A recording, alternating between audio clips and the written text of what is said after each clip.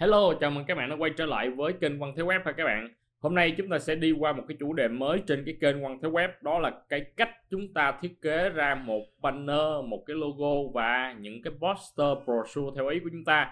Đặc biệt trong video này thế sao không hướng dẫn các bạn cách dùng Photoshop ha, mà mình sẽ hướng dẫn các bạn cách sử dụng một nền tảng mới đó là nền tảng Canva. Canva là một trong những nền tảng giúp cho các bạn thiết kế tất cả những cái mẫu thiết kế đồ họa theo ý của chúng ta mà không cần phải biết về kiến thức đồ họa ha các bạn. Không cần phải là dân thiết kế nè chúng ta không cần phải là biết Photoshop à, AI Corel không cần phải lo lắng về cái vấn đề kỹ thuật nữa. Ha nó đã à, giúp cho chúng ta tiện lợi hơn nhanh chóng hơn. Làm sao trong video ngày hôm nay thế sẽ hướng dẫn các bạn tất tần tật về cách sử dụng Canva. Rồi ngoài ra thì thế sẽ hướng dẫn cho các bạn cách chúng ta thiết kế ra một cái logo nè một cái poster một cái banner hoặc là những cái à, phần này các bạn à, tự tay tạo ra những cái chủ đề riêng của các bạn để chi? Các bạn có thể dùng những thiết kế chúng ta đã tạo ra để làm gì? Để chúng ta đăng lên à, trên Facebook nè đăng lên kênh YouTube những cái hình đại diện của chúng ta. Rồi chúng ta đăng lên à, làm những cái logo trên website của chúng ta. À, sử dụng những cái hình ảnh này để chúng ta à, bán hàng này để chúng ta in ấn ra hoặc là chúng ta à, chia sẻ trên những cái nền tảng mà chúng ta đang có. Làm sao để chúng ta sử dụng được nền tảng Canva thì trong video này thế sẽ chia sẻ cho các bạn từng bước một để chúng ta à, đăng ký và sử dụng một nền tảng rất là tuyệt vời để chúng ta thiết kế ra những cái banner à, theo ý của chúng ta. Điểm lợi của Canva so với lại những cái nền tảng khác thì như thế nào? Ví dụ như các bạn biết về Photoshop các bạn biết về AI Corel thì các bạn phải có một cái ý tưởng ha. Còn Canva nó khác ở chỗ là nó có hàng nghìn cái template miễn phí cho chúng ta. Đấy, chúng ta có thể tận dụng nó để chúng ta tiết kiệm được thời gian và chúng ta sử dụng được rất là nhiều ý tưởng của người khác ha các bạn? À chúng ta không phải là người chuyên môn nên chúng ta hãy làm cái gì nó tiết kiệm thời gian và nhanh chóng chúng ta tập trung vào cái vấn đề của chúng ta. Nếu mà các bạn làm YouTube đúng không? Thì các bạn tập trung vào sáng tạo nội dung trên YouTube. À còn những cái hình này thì hãy để cho những người chuyên môn họ lo. Đó là nền tảng Canva họ để giúp đỡ chúng ta à nếu chúng ta là là một người đi chuyên về thiết kế website thì chúng ta cứ tập trung làm giao diện web đi. Còn logo hãy để cho Canva lo. Ha các bạn nếu các bạn là người à, phát triển nội dung phát triển content trên à, trên website thì các bạn cứ làm tốt cái vấn đề của chúng ta đi. Cái vấn đề mà thiết kế về những cái hình ảnh trên này thì chúng ta đừng có quá bận tâm. Chúng ta hãy dùng nền tảng Canva. À, à thì à, trước đây mình hay dùng Photoshop nhưng mà sau này mình sử dụng Canva mình thấy nó quen và rất là à, thân thuộc ha, tiết kiệm rất là nhiều thời gian và chúng ta có thể lưu lại những cái mẫu của chúng ta trên này. Chúng ta không cần phải tốn dung lượng của máy tính. Đó rồi những cái ưu điểm như vậy thì thế muốn chia sẻ cho các bạn trong video ngày hôm nay. Chúng ta cùng nhau bắt tay tìm hiểu chi tiết từng bước một để chúng ta sử dụng tìm hiểu những công cụ những tính năng của nó. Rồi ok thì trong phạm vi video này thế sẽ hướng dẫn các bạn tìm hiểu về Canva và trong đó nó sẽ có bốn cái tiêu đề mục thứ nhất là cách chúng ta tạo ra một cái tài khoản Canva miễn phí. Thứ hai là chúng ta dùng nó như thế nào. Rồi à, thiết kế đồ họa trên Canva ra sao sau đó chúng ta thiết kế ra rồi chúng ta phải biết cách lưu trữ coi thử những cái banner những cái logo hoặc là những cái poster những cái thiết kế của chúng ta trên này thì nó nằm ở đâu ha chúng ta cần phải biết chỗ lưu trữ để sau này chúng ta có thể tái sử dụng lại hoặc là chúng ta à chúng ta chia sẻ cho người khác bây giờ chúng ta sẽ lưu trữ xong chúng ta sẽ di chuyển tới chúng ta tải những cái file thiết kế về chúng ta thiết kế ra một cái logo thì chúng ta phải tải nó về để chúng ta sử dụng ha chúng ta sử dụng nó à, trên cái máy tính hoặc là trên những cái nền tảng web hoặc là thiết kế một cái nơi nào đó khác. Rồi như vậy là chúng ta sẽ đi qua bốn phần cơ bản này. Và bốn phần cơ bản này thì các bạn hiểu hầu như là hết tất tần tật về Canva rồi.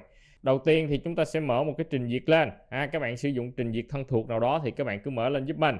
À, chúng ta sẽ di chuyển vào một cái nơi như thế này.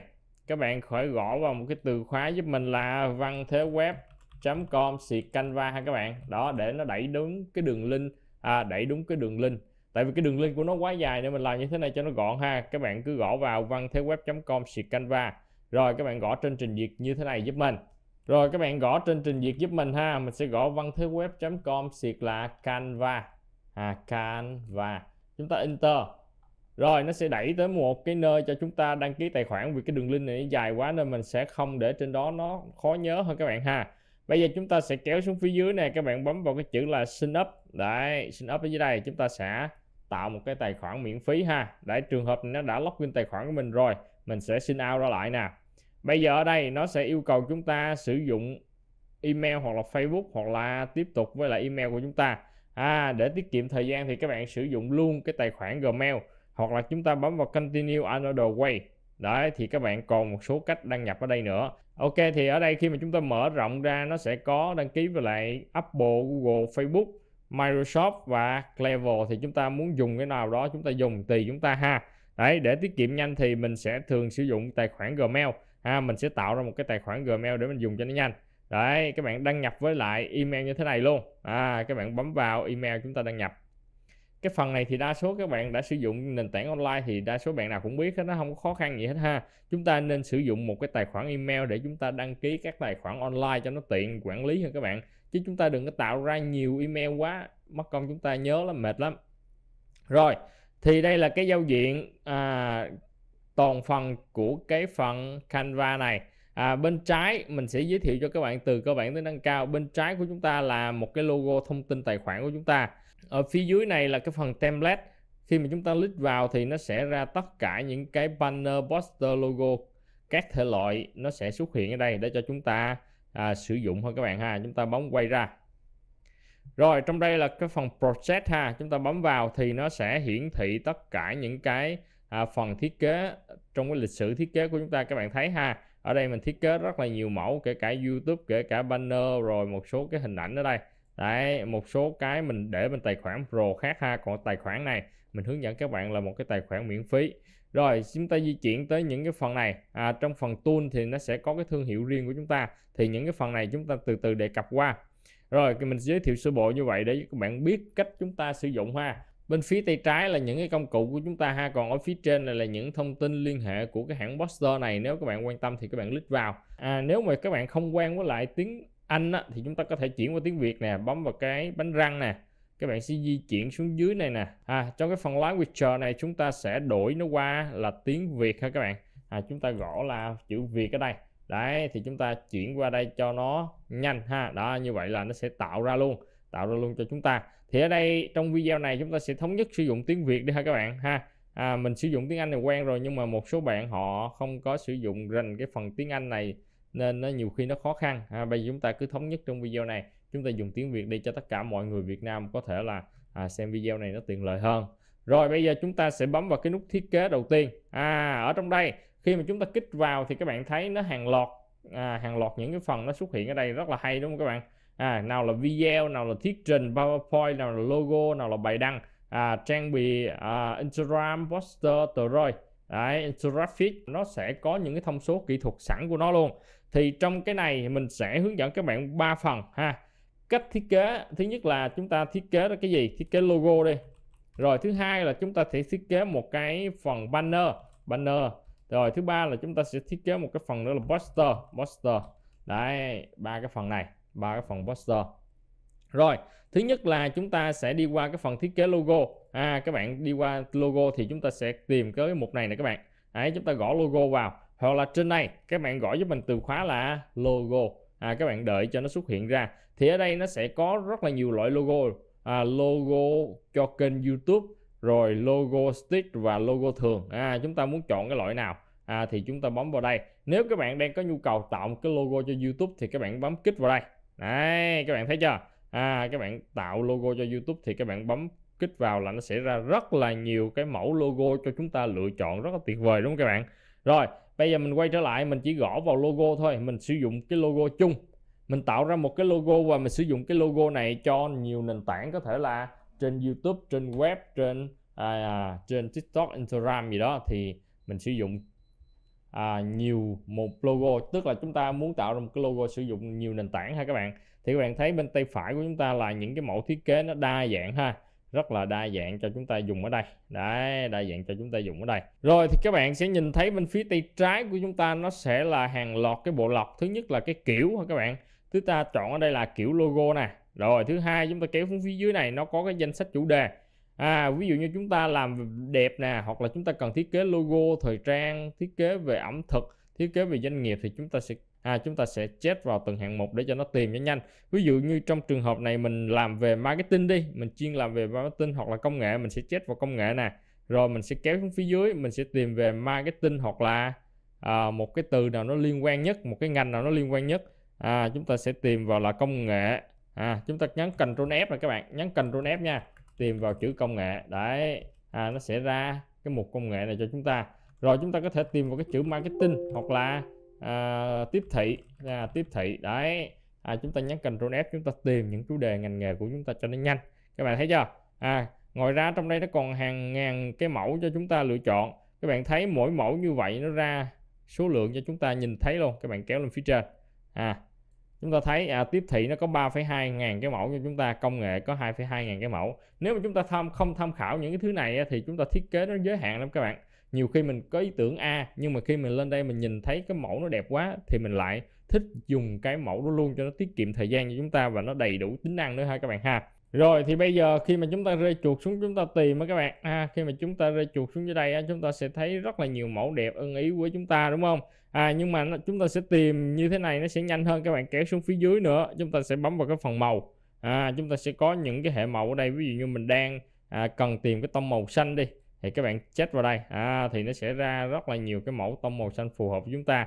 Rồi bây giờ chúng ta sẽ lựa chọn một cái màu ha mình thấy cái mẫu này nó rất là ok à, nhưng mà cái bản này là cái bản Pro ha cái bản Pro thì mình sẽ không sử dụng được cái bản này.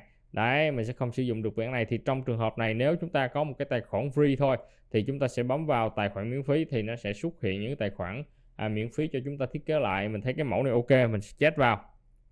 Đấy mình sẽ chết vào thôi các bạn ha. Rồi ở đây là nơi để chúng ta à, cập nhật và sửa chữa cái logo này lại. Tại vì cái đây nó chỉ là một cái mẫu thôi nó giúp chúng ta là biết được cái phong cách của nó nè cái màu chữ nè rồi cái logo nó có những cái kiểu như thế nào. À đây là kiểu là gồm 3 phần. Thứ nhất là à, cái icon thứ hai là cái tên công ty hoặc là cái tên thương hiệu của chúng ta và thứ ba là cái phần slogan ha các bạn.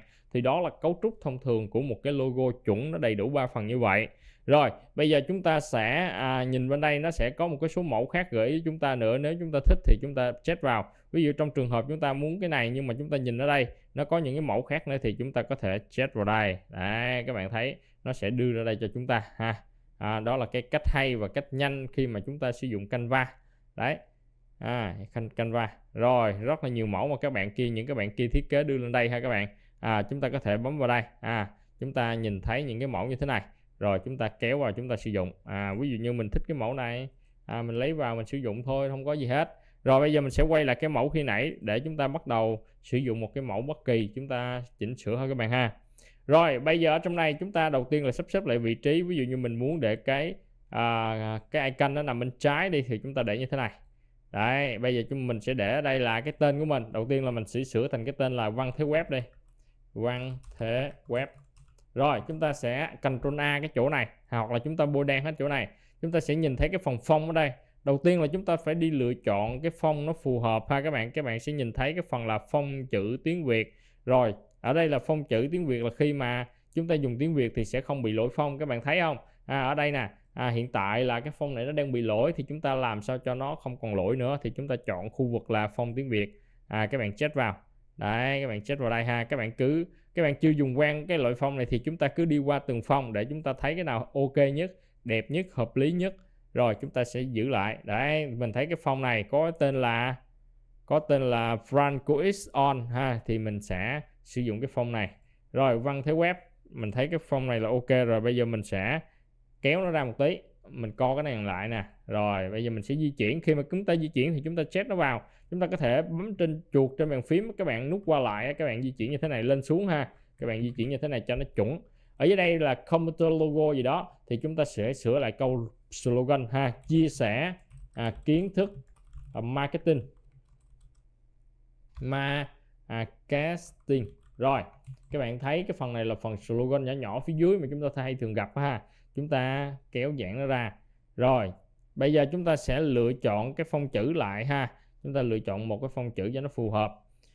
Rồi, chúng ta sẽ thấy cái phông này phù hợp ha. Cái slogan và hai cái thằng này chúng ta nên cho hai cái kiểu chữ khác nhau. Rồi, chúng ta cho hai kiểu chữ khác nhau. Chúng ta thấy vừa ý chúng ta rồi, chúng ta nhấn Ctrl A chúng ta sẽ giảm cái cỡ phông này lại. Hiện tại là 17.6 thì mình sẽ giảm từ từ xuống. À chúng ta xem thử nó phù hợp không?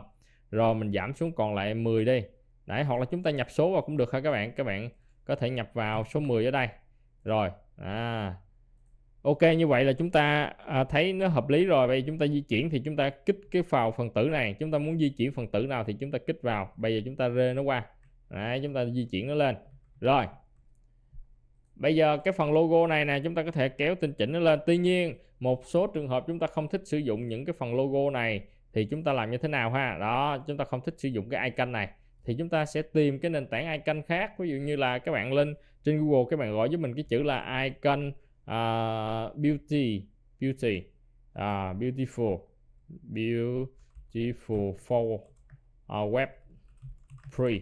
Đấy, các bạn sẽ gõ cái keyword này. Thì nó sẽ ra một cái trang web có cái tên là uh, flaticon.com chúng ta sẽ bấm vào đây rồi ở trong đây nó có hàng tá cái icon luôn các bạn. À, nó có rất là nhiều cái mẫu icon. Thì ở đây chúng ta đang à, cần làm về cái mảng công nghệ đúng không các bạn? Thì chúng ta sẽ gõ vào cái chữ là digital.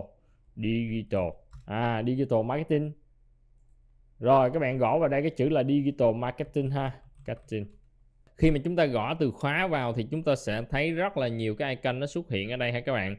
Tại sao mà các bạn biết được cái tên tiếng Anh này? Nếu mà các bạn không sử dụng tiếng Anh được á, thì các bạn có thể vào cái trang Google dịch ha. Vào trang Google dịch. Google Google dịch nè.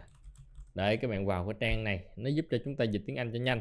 Các bạn bấm là bên trái là tiếng Việt bên phải là tiếng Anh. Sau đó ví dụ như à, bạn là cái nghề làm đẹp đi bạn gõ vào cái chữ là làm đẹp. Đấy làm đẹp như thế này thì beauty ha. Hoặc là chúng ta làm về à, bán hàng đây thì chúng ta gõ vào à, bán hàng à, bán hàng đấy. Hoặc là chúng ta làm về thời trang thì chúng ta gõ là thời trang. À, nó sẽ ra những cái từ tiếng Anh cho chúng ta phù hợp rồi chúng ta đem ra đây chúng ta tìm. Ví dụ như mình làm về à, tiếp thị đi. Tiếp thị à, online. À, tiếp thị online thì nó sẽ là online marketing hoặc là cái từ chuyên ngành của nó là digital marketing hay các bạn ha. Rồi chúng ta gõ đây thì chúng ta sẽ thấy rất là nhiều cái icon nó đẹp phù hợp với lại ngành nghề của chúng ta đấy còn ở đây à, mình đang à, là cần tìm một cái icon về website đi mình sẽ gõ vào là website. À, nó rẽ ra rất là nhiều cái mẫu icon cho mình lựa chọn ở đây. À, các bạn thấy chưa? À, rất là nhiều mẫu icon. Thì chúng ta lựa chọn cái mẫu nào phù hợp chúng ta tải về chúng ta dùng. Bây giờ ở đây mình thấy một cái icon này nó đẹp nè chúng ta bấm vào ha. Rồi các bạn thấy cái icon này phù hợp chúng ta muốn tải nó về chúng ta dùng thì chúng ta bấm vào PNG chúng ta tải nó về. À chúng ta bấm free download rồi chúng ta đợi cho nó tải về ha các bạn ha? Rồi bây giờ chúng ta sẽ bấm nút lưu lại. Rồi thì các bạn nhớ à, trong cái đường link của mô tả kênh YouTube nếu các bạn không thấy cái đường link này thì mình sẽ gắn cái đường link của cái trang flaticon.com này lên để các bạn có thể tiện chúng ta bấm vào chúng ta theo dõi ha các bạn ha. Bây giờ mình sẽ quay trở lại cái phần Canva của chúng ta. Đây phần Canva rồi chúng ta sẽ mở cái phần đang chỉnh sửa của chúng ta lên. Bây giờ mình muốn xóa cái icon này đi thì các bạn nháy phải nè. Các bạn bấm vào cái nút delete chúng ta xóa đi. Rồi bây giờ trong cái phần bên tay trái này nó sẽ có phần tự tải lên. À chúng ta sẽ bấm vào cái chữ là tải nội dung lên. Đấy thì các bạn bấm vào cái chữ with asset ở đây. Rồi các bạn bấm vào cái icon à, chúng ta vừa tải về chúng ta bấm vào open. Rồi sau khi mà chúng ta bấm vào đây rồi á à, thì chúng ta sẽ kích vào. Nó sẽ chạy qua bên đây cho chúng ta. Chúng ta kéo tới cái vị trí chúng ta cần. Đấy, kéo tới vị trí chúng ta cần. Rồi. Rồi ok. Rồi như vậy là mình đã xong cái phần web của mình rồi ha. Thì một số bạn muốn thiết kế cái kiểu nào đó thì mỗi bạn có một cái năng khiếu khác nhau có một cái uh, nhu cầu và có một cái uh, à, sở trường khác nhau thì các bạn sẽ à, thiết kế theo cái ý của các bạn ha. Còn trong trường hợp này mình chỉ làm một cái logo đơn giản và muốn hướng dẫn các bạn là cách chúng ta sử dụng được những cái phong chữ trên này những cái nền tảng trên này. À bây giờ chúng ta đã đi qua các cách cơ bản rồi rồi bây giờ mình sẽ hướng dẫn các bạn sử dụng thêm những cái phần tử mới mẻ trên này. Bây giờ mình muốn khoảng cách giữa hai thằng này nó có một cái đường gạch ngang thì chúng ta làm như thế nào trong phần thành phần này? À mình sẽ chọn một cái phần tử có cái biểu tượng là đường gạch à chúng ta bấm vào đây. Có thể là chúng ta kéo vào chỗ này chúng ta để nè. Đấy mình muốn cho nó thằng này nó rộng ra. Rồi thì cái đường line này mình thấy nó hơi dày thì mình sẽ chết vào đây thì mình sẽ chọn vào đây nè. Nó sẽ có cái cỡ line hay các bạn độ đậm của cái đường này hiện tại là 5 chúng ta giảm xuống là hai thôi. Đấy là ok. À, chúng ta di chuyển cái thằng này lên lại. Nhưng mà cái thằng này mình muốn chuyển qua màu khác đi. Bấm vào đây. Chúng ta có cái hệ màu khác thì chúng ta sẽ lựa chọn màu này. À logo của chúng ta ờ, là chỉ ít màu thôi các bạn ha vài màu thôi chừng 2 tới 3 màu thôi. Rồi à, ở đây mình sẽ lấy trùng với lại cái màu hồng này thì mình sẽ à, bấm lựa chọn ở đây cho nó phù hợp. Hoặc là chúng ta muốn màu xanh thì chúng ta chọn dưới đây. Đấy. Rồi cái thằng này chúng ta sẽ di chuyển nó lên lại di chuyển nó lên. Bây giờ chúng ta sẽ đi canh ba phần tử đi cho nó đều lại với nhau ha. Chúng ta canh bằng tay thì nó không có đều. Chúng ta chọn ba phần tử lại nè các bạn. À, à các bạn nhấn shift trên bàn phím các bạn giữ ba phần tử này rồi một hai ba ha. Một nè hai nè ba nè. Thì các bạn sẽ nhìn thấy một cái phần nữa là vị trí. Nếu mà chúng ta sử dụng tiếng Anh á, là cái chỗ này là position ha các bạn ha? Chúng ta sẽ nhìn thấy canh giữa các phần tử nè canh giữa nè. Đấy thì các bạn thấy cái phần này ngay lập tức nó nhảy qua chính giữa rất là chuẩn cho chúng ta. Rồi chúng ta muốn canh ba phần tử này nó đều nhau thì chúng ta bấm vào canh giảng đều nè. Thì cái đường gạch này của chúng ta nó sẽ canh đều. Tuy nhiên chúng ta nhìn bằng mắt thường thì chúng ta à, thấy một cái phần tử này nó hơi đi sâu xuống dưới đây thì chúng ta có thể chủ động dời nó lên. Đấy, mình thấy như vậy là hợp lý. Rồi bây giờ nếu chúng ta muốn thêm nhiều phần tử khác à, chúng ta thích thì chúng ta làm như thế nào? Nhìn bên phía này nó sẽ có thành phần này các bạn. À, các bạn sẽ có rất là nhiều thứ bên trong này. Nếu các bạn muốn thêm một cái à, biểu tượng về web đây mình sẽ gõ vào đây. À, nó sẽ ra. À, nó sẽ ra những cái biểu tượng icon về web những cái mẫu đây không cần chúng ta tải icon. Tuy nhiên ở trên này nó chỉ có một cái lượng nào đó thôi nó không có đa dạng bằng cái trang này của chúng ta ha. Chúng ta kết hợp vào chúng ta có thể tìm kiếm thêm à, những cái mẫu này. Nhiều khi ở trên đây nó có một số mẫu thôi ảnh nè hoặc là đồ họa này chúng ta tìm ở trên này nó rất là là nhiều mục thôi các bạn. Đấy nhiều rất là nhiều mục. Rồi à, thì ở đây chúng ta cũng có thể sử dụng được những cái icon này vào. À, icon này.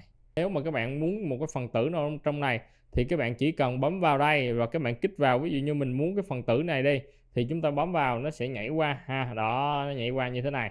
Thì mình có thể thay thế cái icon này lại ha. À, mình hướng dẫn các bạn nhiều trường hợp để chúng ta tiện sử dụng khi mà chúng ta thiết kế logo. À chúng ta tiện sử dụng ha. Đấy chúng ta kiếm một cái icon chúng ta bỏ vào chỗ này. À thì tại sao các bạn làm à, logo chúng ta nên có một cái icon? Tại vì icon nó sau này cái phần này chúng ta nên tách biệt riêng ra để sau này chúng ta có thể dùng cho web nè nó có thể là dùng cái phần là FAV icon ở trên đầu này các bạn nhỏ nhỏ này các bạn thấy chưa? À, Google nó cũng có một Google nó cũng có một cái icon nhỏ trên đầu. À, Canva cũng có một cái icon là chữ C nè người ta làm rất là đơn giản đúng không các bạn? Ha chỉ có chữ C và cái màu radian chuyển đổi từ cái màu xanh xuống cái màu màu tím thôi như vậy là xong. Đấy thì chúng ta làm chúng ta cũng dựa trên cái cơ sở để, để sau này chúng ta phân tách hai cái phần này cho nó dễ ha. Chúng ta đừng có làm dính chùm hai cái phần này lại sau này chúng ta tách rất là khó ví dụ như mình mở một cái logo là thiết kế web thế đạt của mình lên đi. À, mình sẽ cho các bạn thấy cái logo mà chúng ta thiết kế nó đều có những cái à, cái quy luật riêng của nó. Đây thì các bạn nhìn thấy như thế này mình zoom lên đi.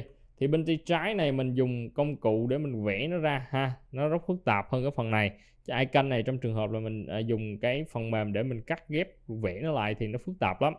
Rồi bên tay trái của chúng ta là cái phần icon còn bên tay phải của chúng ta là cái chữ thế đạt ở dưới đây có một cái đường gạch ngang là thế đạt thiết kế website chuyên nghiệp các bạn thấy không? À, một cái logo như thế này. À, chúng ta ghép vào web thì nó nó rất là phù hợp ha. Đây chúng ta co lại nè. Thì các bạn nhìn thấy trên đầu này mình cắt cái icon nhỏ nhỏ mình đưa lên đầu. À, mình tách hai phần tử ra. Khi mà chúng ta làm một cái logo thì chúng ta phải suy nghĩ cái logo này dùng được cho nhiều cái trường hợp ha. Có thể là dùng cho web dùng cho Instagram hoặc là chúng ta in ấn. Đấy thì chúng ta thiết kế theo cái chuẩn như vậy luôn rồi ok ha các bạn ha. Thì như vậy là chúng ta đã xong cái phần icon và những cái ba cái mục này. Bây giờ làm sao để chúng ta canh giữa ba phần tử này ha? Chúng ta nhóm ba cái phần này lại. Các bạn copy một nè. Bây giờ chúng ta nhóm ba phần tử này lại một nè hai hai nè ba nè. Đó hoặc là chúng ta bôi hết như thế này. Rồi chúng ta nhấn Ctrl E G. Ctrl G tức là group thôi các bạn ha. Chúng ta nhóm nó lại hoặc là chúng ta bấm vào đây. Chúng ta cho vào cái chữ là nhóm. À, thì ba cái phần tử này chúng ta di chuyển đi đâu thì nó sẽ đi đó ha các bạn rồi chúng ta bấm vào cái nút này. Rồi chúng ta bấm shift trên bàn phím kết hợp hai cái phần này lại. Bây giờ chúng ta canh giữa nè bấm vào vị trí nè các bạn. Các bạn canh ở đây là canh giữa đúng không? Canh nè đó nó sẽ nhảy đều như thế này. Còn chúng ta canh bằng tay cỡ nào nó cũng lệch hết đó các bạn ha. Chúng ta phải canh bằng cái công cụ này.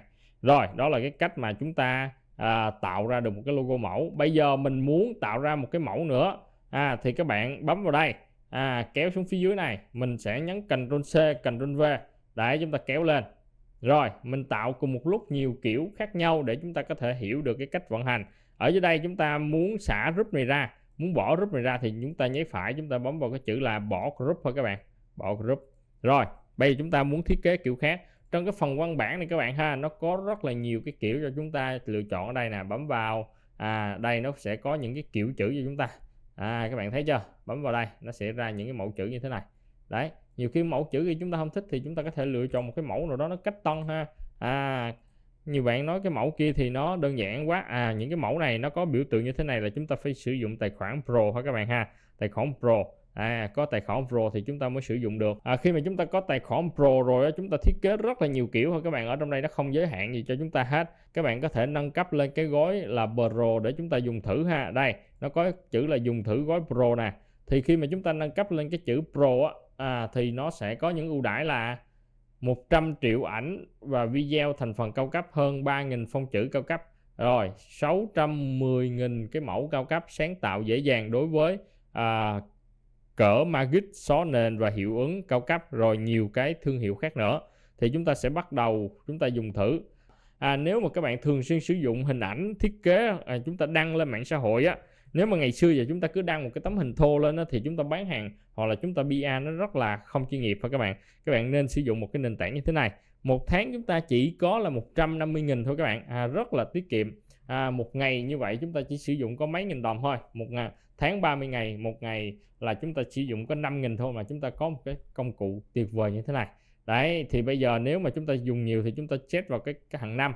Còn mà lâu lâu các bạn dùng thì các bạn chết vào hàng tháng thôi à nếu mà các bạn dùng nhiều thì nó sẽ tiết kiệm hơn. Chỉ có 108 nghìn đồng một tháng thôi tiết kiệm hơn được là gần 500 nghìn đồng một năm. Rất là hay ha các bạn ha. Các bạn muốn đăng ký một cái gói nào đó thì các bạn kích vào đây. Rồi các bạn nhập số tài khoản của các bạn vào. À các bạn nhập số tài khoản vào. Rồi mình sẽ đăng ký thử cho các bạn xem ha. À, cái này là đa số chúng ta dùng tài khoản visa chúng ta mới mua được những cái công cụ này nha các bạn. Rồi mình sẽ nhập đầy đủ thông tin vào thì thông tin thẻ mình xin được phép che lại ha các bạn ha? Rồi sau khi điền đầy đủ thông tin rồi mình sẽ bấm vào tải bản dùng thử miễn phí nè. À, nó sẽ lót qua cái phần này cho chúng ta nè. Đấy nó lót qua phần này cho chúng ta. Sau khi mình à, thanh toán rồi nó ở đây nó sẽ yêu cầu mình nhập vào tên đội ha. Đội của tôi là đội Nguyễn Văn Thế. À ví dụ như ở đây, ở đây là Nguyễn Văn Thế đây. Rồi à, chúng ta sẽ bấm vào chúng ta có thể là thêm thành viên khác vào đây ha. Còn trong trường hợp này mình chỉ sử dụng một mình mình thôi. À, mình chỉ để như thế này. Rồi mình bấm gửi thư mời. Ví dụ như mình có một cái bạn B nữa sử dụng chung với mình thì mình bấm vào đây. Đấy, à, mình sẽ nhập email của bạn vào. Rồi chúng ta bấm vào gửi thư mời. À gửi thư mời. Rồi ở đây chúng ta có à, thông tin là đã gửi thư mời cho bạn này. Hai bạn này có thể dùng chung với chúng ta rồi nó yêu cầu là chúng ta muốn sử dụng Canva Pro để làm gì ha? Thì chúng ta sẽ à, chọn à, thương hiệu cá nhân gì đó đi. Chúng ta chọn cái đó nó không quan trọng lắm ha. Nó hiển thị thông tin là chào mừng các bạn đến với Canva Pro thì chúng ta bấm kích vào. À, như vậy là chúng ta đã lên cái level là Canva Pro rồi ha các bạn. Đấy các bạn thấy ở đây. Rồi bây giờ chúng ta sẽ sử dụng những cái công cụ Pro ở đây ha các bạn ha. Chúng ta chết vào thì nó cho chúng ta sử dụng thoải mái luôn.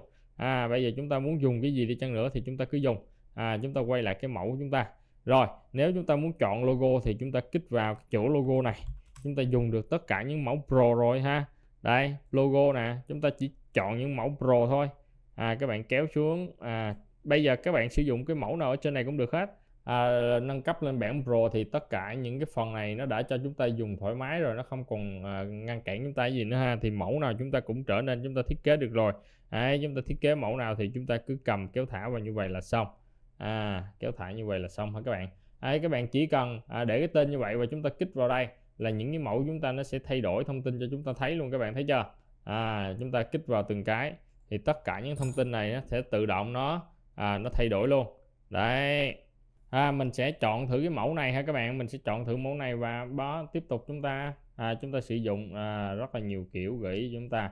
À, icon này icon này. Đó, chia sẻ kiến thức marketing rồi ha màu này nó đổi rất là nhanh. Đây chúng ta muốn đổi cái chỗ màu này nè các bạn ha chúng ta kích vào đây. Đấy các bạn thấy ha khi mà các bạn đăng ký bản pro thì các bạn kích vào đây chúng ta đổi màu nè.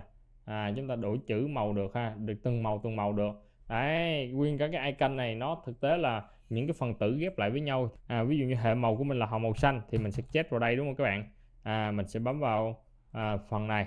Đấy mình sẽ chọn màu ví dụ màu xanh này đây mình thích màu xanh này à, hoặc là màu này thì mình cứ chọn. Đấy. À, cái phần thứ hai mình chết vào đây nè. Khi mà các bạn chết vào thì nó sẽ hiển thị ra từng phần. À, màu cho chúng ta lựa chọn nè. Rồi màu cho chúng ta. Đấy chúng ta sẽ chọn lại cái màu xanh. À, mình sẽ chọn lại màu xanh. Rồi cái phần này chúng ta chuyển qua hết một màu đi.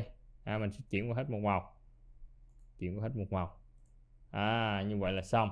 Chúng ta sẽ di chuyển qua bên phía tay trái này chúng ta chết vào đây. Đó bây giờ chúng ta sửa màu cho nó luôn này chúng ta sẽ sửa lại thành cái màu xanh này. À mình sẽ sửa lại màu xanh. Và ở dưới đây là mình sẽ sửa thành cái màu xanh xanh nhạt lại. Hai cái màu này mình mình so lay với nhau. Rồi mình chỉnh phong lại thôi. À mình chỉnh phong tiếng Việt lại. Phong dùng gần đây nó hiển thị ra đây cho chúng ta nè. Đó phong tiếng Việt này chúng ta vừa dùng khi nãy á à, chúng ta sẽ thấy ở đây. À tại vì các bạn mới sử dụng công cụ này mình hướng dẫn cho các bạn nó nhiều cái góc nhìn để chúng ta sau này dùng cho nó dễ ha các bạn ha.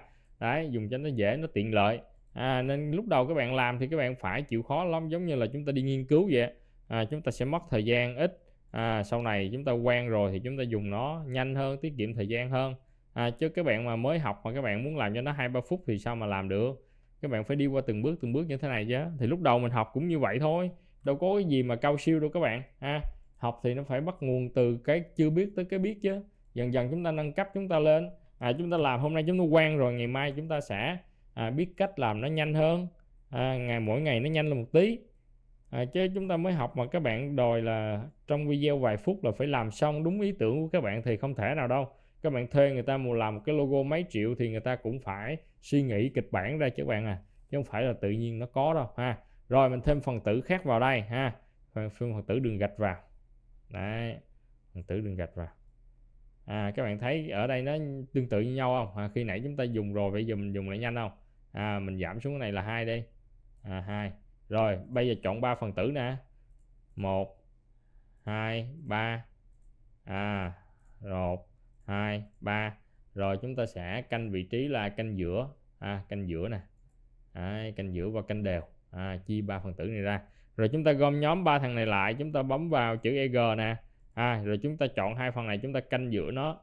Đấy chúng ta để giữa. Thì nó sẽ tự động nó cân đều rất là đẹp ha các bạn rồi cái phần này chúng ta đã xong rồi. Đấy thì uh, trong cái phần này mình đã giới thiệu các bạn rất là nhiều kiểu rồi ha. Còn cái này là chúng ta không dùng tới trong cái phần thiết kế logo chúng ta chưa dùng. Qua những phần thiết kế poster banner thì chúng ta mới dùng tới nó. Chúng ta chỉ dùng icon và văn bản là chính thôi. À, một số trường hợp các bạn muốn dùng tất cả những cái mã màu bên trong này thì chúng ta sẽ bấm vào để chúng ta lựa chọn ha. Chúng ta có thể bấm vào nó sẽ chạy qua đây cho chúng ta. Đấy ha. À nó có rất là nhiều kiểu mà chúng ta nhiều khi chúng ta nghĩ không ra đấy chúng ta thấy cái nào phù hợp thì chúng ta cứ đưa vào dùng thôi các bạn. Chúng ta đổi chữ lại ví dụ chữ này nó đẹp quá nè. À, chữ này nó đẹp quá. Mình muốn lấy nó mình sử dụng là ở trên là văn thế web. À, văn à, thế web đây. Mình mình sửa nó lại là văn thế web. Rồi chúng ta chọn cái phong cho nó là phong tiếng Việt đi. Xem thử nó có hay không. Đây. À, phong tiếng Việt. À, chúng ta có thể sử dụng kiểu đó nhưng mà chúng ta dùng phong tiếng Việt. Đấy, chúng ta dùng phong tiếng Việt nè. Rồi chúng ta giảm size lại giảm nó sai chữ nhỏ lại. Đấy các bạn ha dùng cái format của nó nhưng mà chúng ta đổi qua kiểu này. Đấy các bạn thấy ha khi mà chúng ta dùng bản Pro lên thì nó giúp chúng ta tiết kiệm nhiều thứ lắm chứ. À, bình thường là các bạn làm gì có những cái mẫu này chúng ta sử dụng đúng không? À, bây giờ các bạn muốn thay đúng không? Thì các bạn chết vào như thế này rồi các bạn chết vào đây. À nó sẽ nhảy qua cho các bạn. Rồi rất là nhiều cái kiểu dưới đây ha. Đa dạng luôn. À, hàng nghìn mẫu dưới đây. Rồi trong phạm vi này mình muốn hướng dẫn các bạn tới đây là các bạn tạo ra được cái logo rồi rồi bây giờ sau khi có được một cái logo như thế này ha thì sau khi mà xem hết cái đoạn video này các bạn phải cho chúng ta một cái sản phẩm nha. Chúng ta làm xấu hay đẹp gì không quan trọng chúng ta phải có một cái thành phẩm như thế này. Sau đó chúng ta sẽ nhìn lên phía tay phải này chúng ta bấm vào nút chia sẻ ở đây. Thì nút chia sẻ ở đây nó sẽ có là chia sẻ lên mạng xã hội này các bạn ha. À, chia sẻ lên mạng xã hội. Nhưng mà để an toàn để nhanh nhất thì chúng ta nên tải cái file này về. Rồi trong cái phần này chúng ta có một cái nút là tải xuống thì các bạn bấm vào đây giúp mình ở trong đây nó có rất là nhiều kiểu ha. Khi mà chúng ta sử dụng bản Pro thì nó cho chúng ta à, xuất lên mọi kích thước luôn ha. Xuất lên mọi kích thước nâng cao. Còn nếu mà các bạn sử dụng bản free á, thì chúng ta chỉ dùng để sử dụng trên online thôi không thể nó in ấn được. Rồi nếu mà chúng ta muốn nền trong suốt thì chúng ta chết vào đây. À, chúng ta sẽ chọn cái phong à, chúng ta sẽ chọn cái kiểu xuất ra của chúng ta. Có thể là à, PNG là cái ảnh không nền. Rồi à, PDF hoặc là ảnh động ha. Nếu mà chúng ta có sử dụng ảnh động trong này thì chúng ta xuất ra nhưng mà logo thì đa số các bạn xuất là PNG sau đó chúng ta tải về. À chúng ta đợi cho nó tải về nha. Rồi nó đang xuất ra cho chúng ta này bây giờ nó tải về. Rồi sau khi tải về thì chúng ta sẽ mở lên chúng ta xem thành quả của chúng ta. Đấy các bạn sẽ thấy chúng ta có một cái logo trên này rất là đẹp rồi ha. Rồi trường hợp mà các bạn muốn xuất cái này ra thành một cái à, favicon icon thì chúng ta xóa cái này đi chúng ta nè chúng ta xóa cái thằng này đi rồi xóa đi ha các bạn xóa đi nè à, khi nãy chúng ta gom nhóm nó đúng không chúng ta nhóm nó nè thì bây giờ chúng ta à, xóa tất cả những phần tử này đi ba phần tử này chúng ta xóa đi Đấy, bây giờ chúng ta chỉ còn xúc một mình thằng này thôi để chúng ta làm cái gì là cái favicon kênh nó nằm lệch qua một bên thì chúng ta tăng cái thằng này to lên chúng ta để giữa nè à, tăng thằng này to lên để chúng ta để giữa cái trang này ha à, bấm vào phòng vị trí thì chúng ta canh giữa nè canh giữa hết đây rồi chúng ta xúc cái này ra, xúc cái này ra lại. Bấm tải xuống. Rồi bấm tải xuống ha. Ok, sau đó chúng ta bấm vào cái nút xây chúng ta kiểm tra lại một lần nữa nha.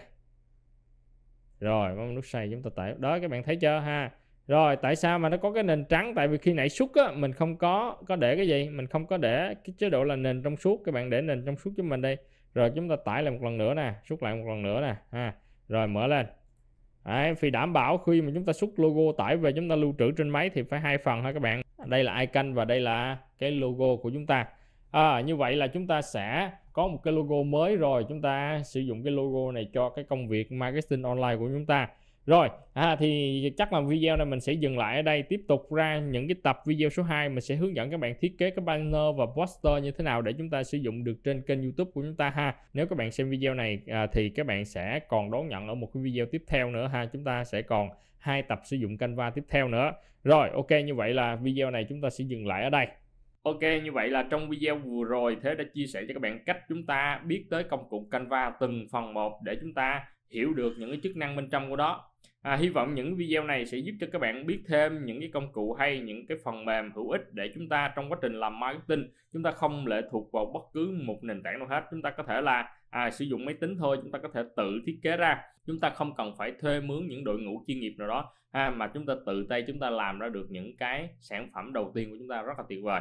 Ok thì các bạn đừng quên bấm vào nút chuông và nút đăng ký để khi mà thế ra những video tương tự như thế này về thiết kế đồ họa nè về SEO này, về WordPress cũng như về kiếm tiền online. Thì các bạn là một trong những người nhận đầu tiên đón nhận cập nhật những tin mới nhất.